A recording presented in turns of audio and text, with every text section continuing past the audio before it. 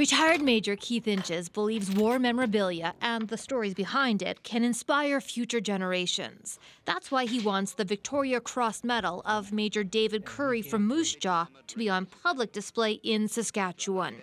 Back from the battlefront, Major Currie, still wearing his overalls, arrived at Buckingham Palace to receive his award for courage and devotion to duty. Against incredible odds, Currie and a small force of tanks and infantry held off a huge German army. He was the only Canadian soldier to receive the Victoria Cross in the Normandy campaign. Currie's widow, now 105, sold the medal to a private collector in 1989. Her grandson told an Ottawa newspaper that the money is still funding her care in a nursing home. But now the private collector is putting it up for auction and it's expected to get half a million dollars. Currie made at one point, he made the comment that the medal wasn't for him, it was for the men that he led. Okay? And that's true. Uh, he didn't get killed.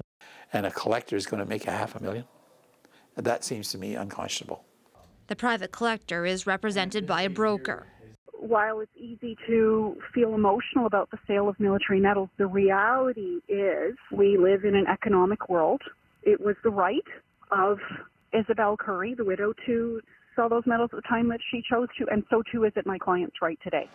The Canadian War Museum in Ottawa has bought Victoria Cross medals in the past, but won't say whether it will make a bid this time.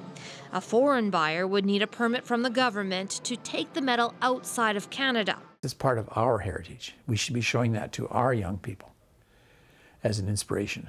I don't think anybody in Europe's going to be inspired the same way. There's lots of uh, medals for heroism in Europe. They don't need another one from us.